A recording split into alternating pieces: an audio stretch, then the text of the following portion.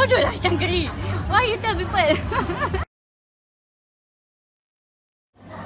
Apa yang Izara tak boleh lupa Momen dengan Shankari She is a very nice person. Dia seorang je Yang tak ada masalah dengan all the other girls. So Izara dengan dia sama. We just go with the flow Happy go lucky. We just enjoyed the whole journey And we didn't have any dramas or what. Kita buat kerja kita je. Itu yang Izara boleh ingat. Yang lain yang dia cakap Izara dengar. Hindustan semua Izara tak ingat. Oh my god Embarrassing gila. Bodoh lah Shankari Why you tell people? Uh, Izara throwback. Tapi time Izara tu Very different. Team Izara semua dahsyat-dahsyat. Garang-garang ni Ni salah satu mak ayam Oh my god Very garang They're very strict And we were very disciplined Bukan nak cakap yang baru ni tak disiplin Cuma mereka lebih lembut dengan yang tim-tim baru ni berbandingkan dengan kita. Ya. Yeah. Oh. Uh, just be yourself. Kalau tak suka cakap tak suka. Kalau suka cakap suka. Be real. Yang tu je lah kot. Be real. Tak yeah. nak lah fake.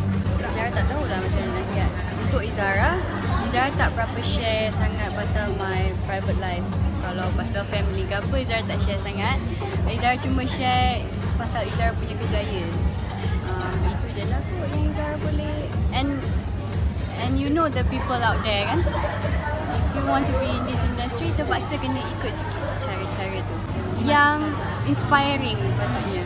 Yang kita nak ikut-ikut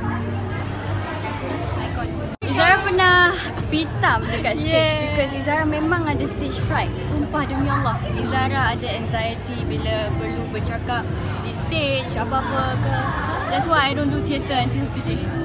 And uh, lagi apa? Drama banyak jugalah kita punya kita punya batch.